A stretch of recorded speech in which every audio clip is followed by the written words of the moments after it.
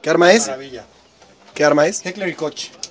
Heckler y Koch de repetición, es un semiautomático. Con táctico, muy bonito. ¿Cargador de cuántos tiros? De 20 tiros. Es modelo Huachicol. 416 pistol. Dale, ya estuvo, ¿no?